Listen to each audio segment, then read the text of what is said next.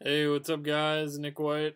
Um, I literally hate this city table at this point. If you've watched the other ones, if you're watching these in order or something, if you're not, maybe watch them in order because this will make no sense if you don't, almost.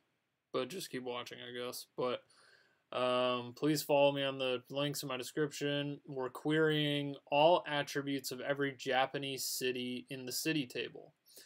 Uh, the country code for Japan is JPN. So we're querying, if you watch the other ones, um, select star from, that's select all fields. We have a table called city with entries. We've been over this a million times. They are drilling this into my brain.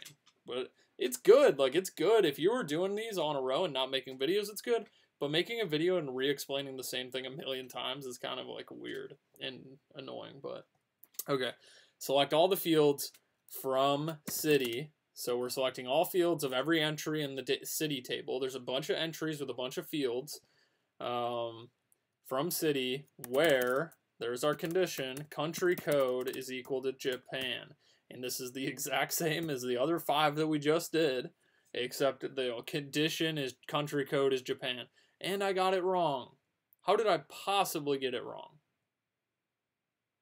JPN, right? County code. Okay. You know what? You think you're better than me? City table, making me look bad. Guess what? I got it right now. Did I get it wrong again? Am I on drugs? I think I'm on crack, guys. Okay, I spelled country wrong twice. Genius. All right, there we go. Select star from city where country code is equal to Japan. Um, there you go. That's all the stuff. That's it. It's the same you get all the stuff. I'm sorry for yelling at you guys last time and this time. I'm very frustrated with the city table.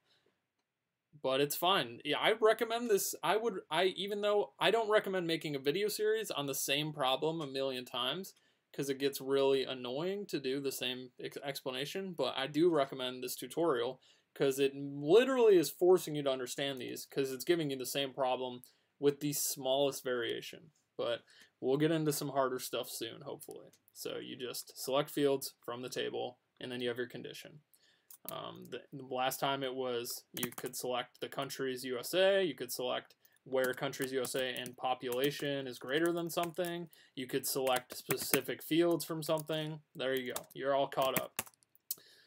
Okay, see you guys. Uh, God dang. All right, I'm sorry. I shouldn't keep getting angry. I'm just like, it's getting so frustrated with this. All right. I'm going to meditate after this, and then we'll calm down for the rest of them. All right. See you guys.